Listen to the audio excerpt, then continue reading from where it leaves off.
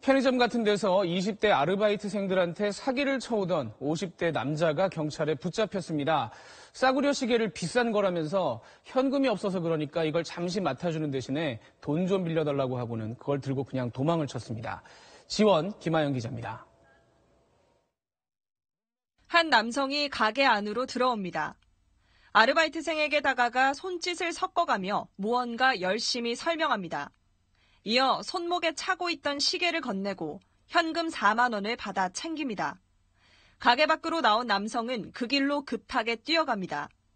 50대 남성 A씨는 지난해 말부터 춘천 지역에서 편의점과 빵집 등 6곳을 돌며 같은 수법으로 29만 원을 챙겨갔습니다.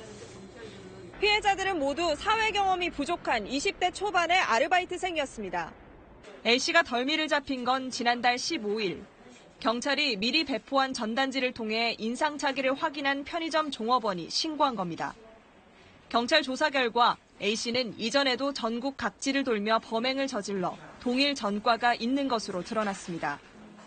네, 전부터 이렇게 동일한 수법으로 이제 다른 지역에서도 이제 범행을 했었고 그런 걸로 처벌받은 전력도 있는 사람이어서 그렇게 계속 해오던 중- 중에 우리 관- 저희 관내에서 이제 범행을 하다가 검거가 되었습니다. 경찰은 A씨를 상습 사기 혐의로 구속하는 한편 신고한 편의점 직원에게는 포상을 하기로 했습니다. 지원 뉴스 김아영입니다.